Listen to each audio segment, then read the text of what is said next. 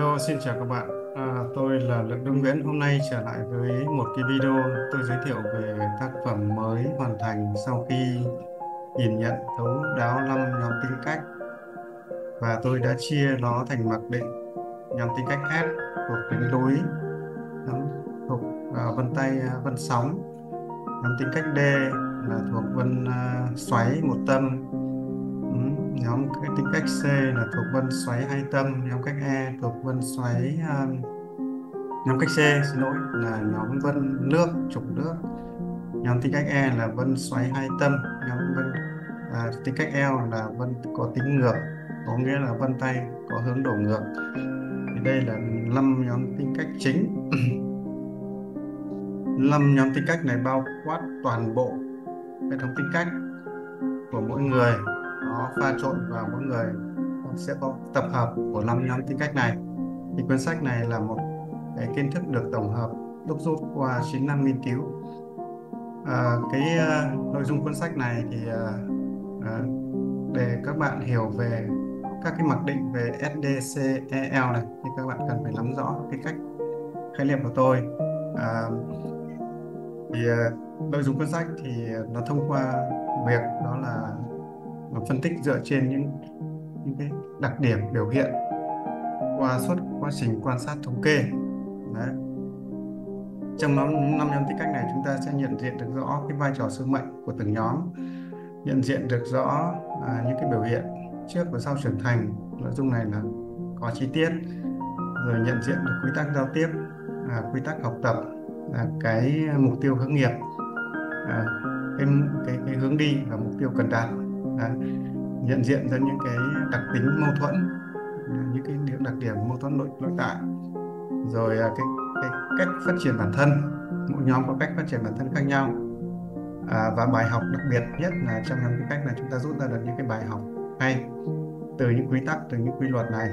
À, à, những cái à, chúng ta dùng để giải thích các hiện tượng và nguyên nhân xảy ra trong đời sống thành công thất bại hoặc là à, làm mãi mà chưa đạt. Ví dụ như vậy. Rồi chúng ta chỉ ra được các các cái nguy cơ của mỗi nhóm tính cách. À, chúng ta bắt được bệnh từ tâm từ những cái nguyên nhân do những cái thói quen. Rồi chúng ta có những cái giải pháp thao gỡ hóa giải và những cái à, cái cuối là tâm sự của người viết thì à, nhận biết tính cách thì nó có rất nhiều ích lợi.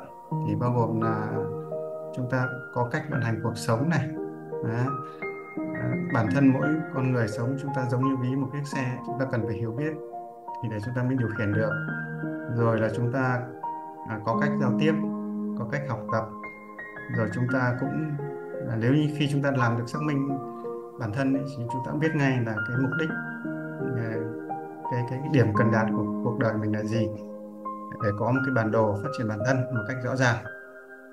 Rồi chúng ta biết cái nghề nghiệp nào là phù hợp à, biết cách kiểm soát điều phối à, các cái tổ chức gia đình hoặc là bộ máy doanh nghiệp rồi chúng ta hóa giải những cái vấn đề hỏa hạn trong đời sống thì đó là những cái lợi ích đó.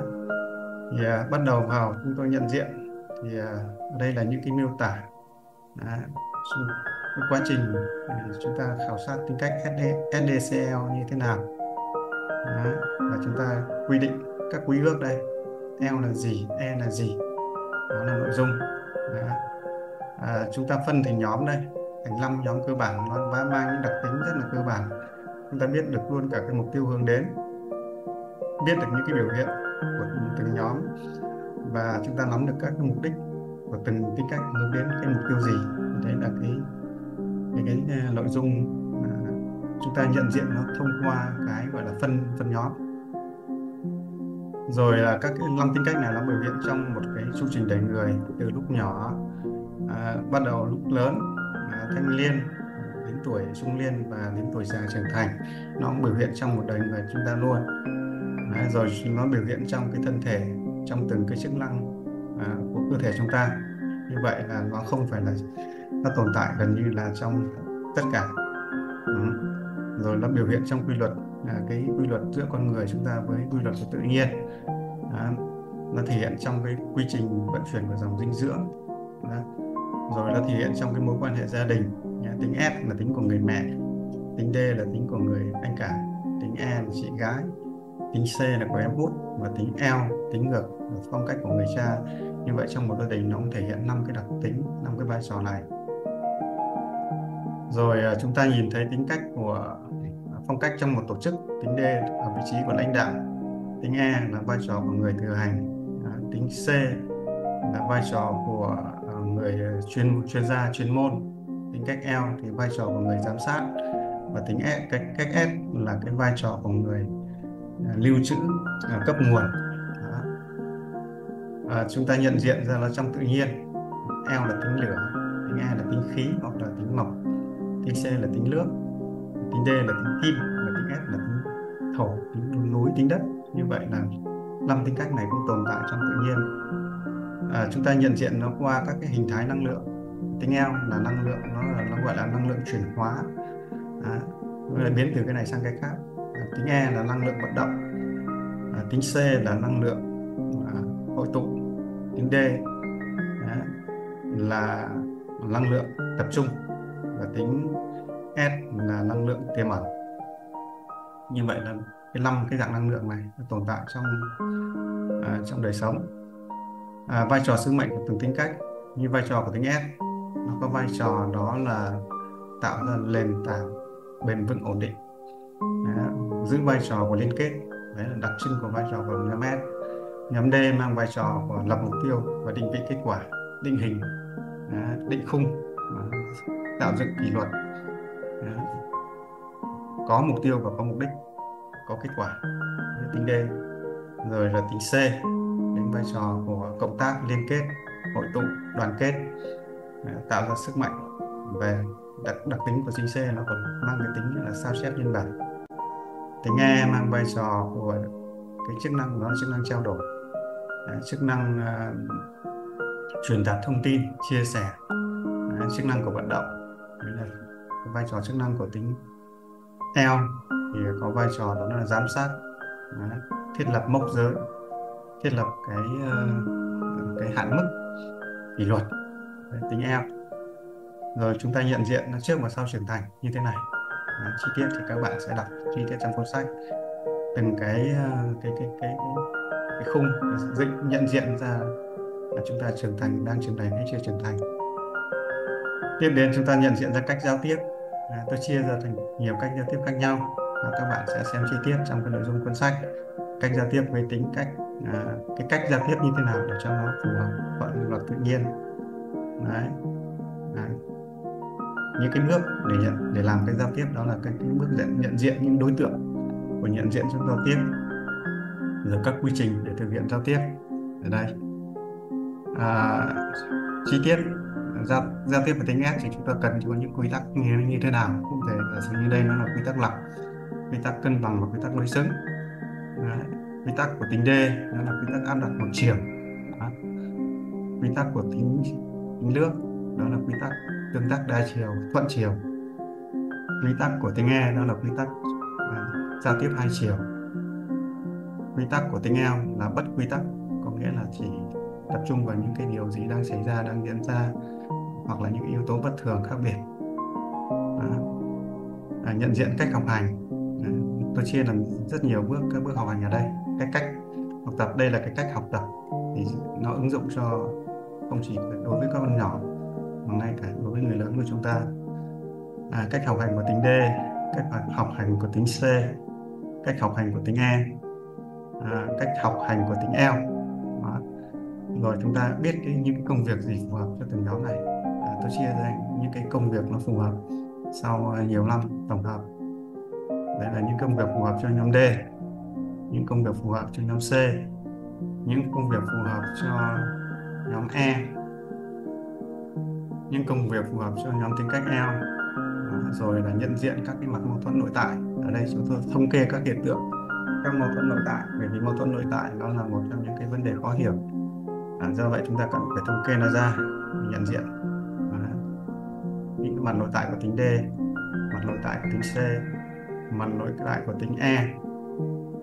Những mặt đối lập của tính L. Con đường mục tiêu hướng đến. Ở đây thì à, có những cái bài kệ. Nó có gần như là thơ nhưng không phải là thơ. Nhưng cái bài này thì nó gieo theo vần giúp các bạn nhận diện ra những cách S thì à, cần có cái um, hướng đi như thế nào cần có tính được tính thức như thế nào rồi kệ cho tính cách D. Kệ cho tính cách C. Kệ cho tính cách L. Kệ cho tính cách E, à, L.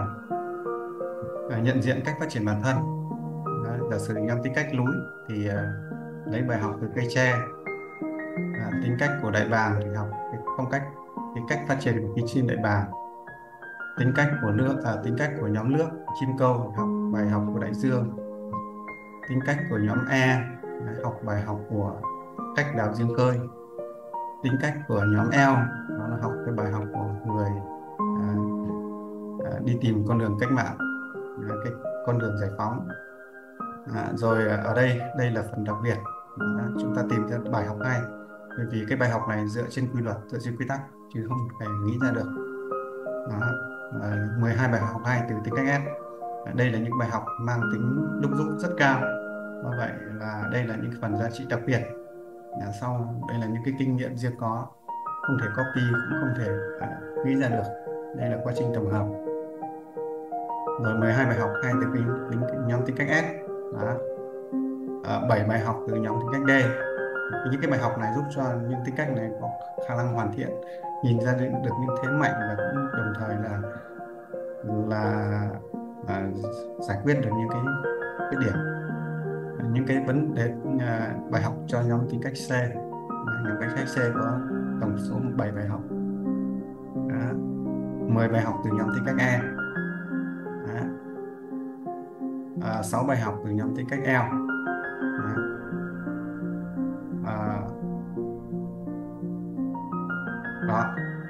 tiếp đến chúng ta tìm ra những hiện tượng nguyên nhân trong đời thường đời sống. Nó có những nguyên nhân gì? À, nhạy cảm cả nghĩ thì thì cái hiện tượng nguyên nhân từ đâu? À, ghen tức đố kỵ rồi à, bỏ cuộc giữa chừng nó có nguyên nhân từ đâu? À, những cái hiện tượng như chăm chỉ mà không có sự tiến bộ hoặc là vụn vặt dày rạc nguyên nhân do đâu? Nhút nhát dù rè cũng vậy. Nguyên nhân à, tính nghiện hoặc là có cái tính tính nghiện có, nguyên nhân từ từ đâu. À, tính thô cục cũng vậy. Thì những cái hiện tượng này nó diễn ra trong đời sống. Và nhờ đó, đó đây thì chúng ta sẽ hóa giải tìm ra được nguyên nhân của chúng nó. Đây là một loạt các hiện tượng nguyên nhân của từng nhóm tính cách. À, rất nhiều hiện tượng nguyên nhân. Những cái hiện tượng này là của tính cách tính ngược thì đấy là những hiện tượng nguyên nhân. Còn bây giờ đến cái chương nữa là cái chương nguy cơ từ những thói quen. Là sự thói quen à, lặp lại nó gây ra những cái hậu quả gì, gây ra bệnh gì? Thói quen ư ổn định nó gây ra những cái tật gì? Thói quen chi tiết hóa thì gây ra những vấn đề gì? Đấy, và tuần tự theo quy trình nó có cái gì hay, cái gì dở rời rạc, gián đoạn, điểm hay, điểm dở của nó, tính đơn giản hóa, tính nghi ngờ, tính à, thói quen ôm đồn tích tụ rồi à, nguy cơ của trì hoãn thì gây ra nó gây ra những cái hệ lụy gì? Đấy. rồi là những cái à, những cái tính chất giữ dồn nén. Rồi áp đặt một chiều thì có những đặc điểm gì? Sử dụng nó như thế nào? Rồi cái tính độc lập tự lập nó có điểm hay điểm giả như thế nào? Đó. rồi ở đây có một cái đặc điểm là cái tính truy. Tôi gọi là từ, từ truy à, truy xét tới cùng đấy thói quen tỉnh thức ở nhóm D đây. Đó. hoán đổi nó có hiệu quả gì? Cố chấp gây ra những nguy, nguy cơ gì? Đó. rồi sao chép? Lan nhiễm tính này nó có điểm gì hay điểm gì dở? Đồng hóa hòa tan rồi chọn số đông làm chuẩn làm điểm nó như thế nào? Rồi tính à, sao chép thì có nguy cơ như thế nào? Cho nhóm tính nước. Rồi à, những cái à, tính vòng tránh ngại đối đầu nhóm tính nước gây ra những cái hậu quả gì, hệ lụy nào, ngại thay đổi gây ra những cái nguy cơ gì. Đó. Gấp bộ thì sẽ tạo ra những cái nguy cơ gì. Đó. Hay làm quá đây đặc điểm của tính ngược thì nó sẽ tạo ra những cái vấn đề gì. Đó. những cái thói quen hay làm quá này. Đó. hướng ngoại cao quá thì cũng tạo ra nguy cơ gì. Chúng ta cần phải nhận thức rõ về những đặc điểm này. Rồi những cái tính phân biệt kỳ thị thì đó là những cái ờ, à, cái đặc điểm của nguy cơ. Bây giờ chúng ta nhìn cái bệnh từ tính cách. Đó. giả sử như cái tính ưa ổn định nhát vận động thì nó gây ra những cái bệnh gì đây? Béo phì tim mạch tiểu đường loãng xương sỏi thận là chúng ta cần phải tìm hiểu. Đó. tính lọc gây ra gì? Lọc thì nguy cơ cao gây ra những bệnh nghiện. Rồi là những cái bệnh mãn tính. Đấy là những cái đặc điểm của những bệnh nhanh vội thì tạo ra những cái bệnh gì? Tiêu hóa à, béo phì tiểu đường à, ruột kích thích rồi trào ngược. À, thì đấy là một loạt các cái vấn đề này. Những cái bệnh gây thói quen tập trung thì tập trung căng thẳng thì gây ra những cái bệnh gì? Nóng lạnh thì gây ra những cái bệnh nào? Ham cái đồ mới lạ thì gây ra những cái bệnh gì? Tinh tìm mới bệnh từ thói quen. Những cái hiện tượng trào bón nợ nóng này do những cái thói quen tật, những cái cái cái nếp sống nào. Rồi ở đây thì chúng ta đưa ra giải pháp tổng thể. Như vậy sau khi đưa ra nguyên nhân, chúng ta cần phải có giải pháp. Thì à, chúng ta nhận diện ra cái vấn đề như cái ý nghĩa. Đầu tiên là chúng ta phải nhận diện ra ý nghĩa của sinh mạng. Chúng ta nhận biết được giá trị của sinh mạng nó như thế nào. Rồi chúng ta cần phải có hiểu biết về cái quy luật về cái tính cách của mình thì chúng ta mới bắt đầu những biết cách vận hành sử dụng vận hành cuộc sống. À, rồi à, chúng ta à, bắt đầu tìm hiểu những cái nguyên nhân của rắc rối. Ở đâu à, giải pháp có một giải pháp giải quyết đó là chúng ta làm sao chúng ta có được cân bằng và đối xứng. Bởi vì tất cả mọi vấn đề nguyên nhân của nó gây ra là thiếu cân bằng thiếu đối xứng. Mất cân bằng thiếu đối xứng là gây một loạt cái hậu quả gây ra. Đấy. và chúng ta cần thiết lập giới luật như thế nào để giữ được cân bằng và đối xứng Đấy. và mục tiêu hướng phân đấu Đấy. mục tiêu nào là phân, à, mục tiêu đúng hướng phân đấu nào là đúng đúng, đúng chuẩn Đấy.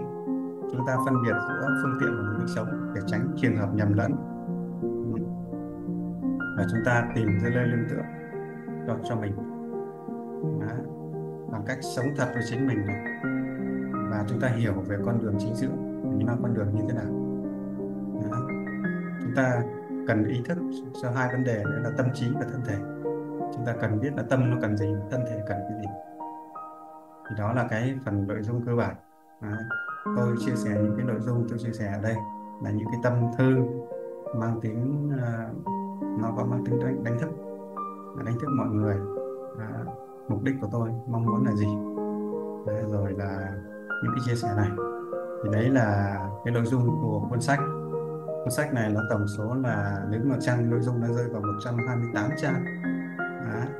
thì nó rất cần hữu ích, nó như là bộ cẩm nang trang bị cơ bản. Để chúng ta nhận diện ra cái cái cái ờ, cái ờ, vấn đề, cái tính cách của mình. Thì đây là kiến thức nền tảng. Kiến thức tính cách được gọi là kiến thức nền tảng của mọi kiến thức bởi vì à, tất cả chúng ta cũng từng cho phục vụ cho vấn đề mưu sinh. Vậy thì à, chúng ta cần phải hiểu là à, để mà có mưu sinh nó đạt được giá trị nó đạt ý nghĩa thì chỉ có cách quay về hiểu chính mình. À, mỗi người phải tự học tự nhận ra. Thì đây là nó mang tính chất khái quát tổng thể cơ bản. Còn à, các bạn à, muốn chi tiết nhận diện ra cái vấn đề riêng của mình thì chúng ta sẽ cần phải một cái kết quả phân tích à, như là kết quả sinh chắc hy vọng rằng là sau cái cuốn sách này thì nó tôi sẽ có được cái tôi sẽ phát triển thêm một cái gọi là phần mềm phân, phân tích phân tích tính cách dựa trên những cái nguyên lý này à, cho từng cá nhân. Nhưng mà đây trước mắt là cái cuốn sách là nó mang cái kiến thức bản lề căn bản nhất. Tôi hy vọng rằng các bạn hãy nên cần có trang bị à, bởi vì à, nó bởi vì thực tế như tôi nói đó là nó là kiến thức nền kiến thức của mọi. À, mọi tri thức nó cũng là một dạng tri thức tri thức gốc. Và tôi thấy được tầm quan trọng của nó. Tuy nhiên thì nó không phải là à, nó dùng để cho chính mình thôi nhưng mà nó không phải là phương tiện để chúng ta ra mưu sinh kiếm sống như là học các môn. À, để hành nghề nó là một cái nhận diện để thấu hiểu bản thân trước đã. Khi thấu hiểu bản thân mình thì mình mới mình biết hóa giải được toàn bộ những cái vấn đề của mình trong đời sống. Thì à, đấy là cái à, nội dung tôi chia sẻ trong cuốn sách này. Tôi hy vọng rằng à, với cuốn sách này hiện nay thì à, à, với cuốn sách này thì các bạn sẽ trang bị được những cái kiến thức năm năm tính cách căn bản. Thì cuốn sách này hiện nay đã à, hoàn thành bản in và nó sẽ được xuất bán trên uh, các cái trang thương mại điện tử nhưng mà trên nền tảng của Amazon. Tuy nhiên thì tôi cũng in uh, một ít uh, dùng cho những cái bạn hữu duyên. Uh, chứ còn thực tế thì là những cái bạn hữu duyên nghĩa là cái cuốn sách này đã sẵn sàng. Các bạn có thể đặt đặt mua theo cái số liên hệ ở dưới. À, và tôi hy vọng là của các bạn đam mê tính cách sẽ có nhiều đóng góp cũng như là à, có nhiều cái sự chia sẻ của tôi.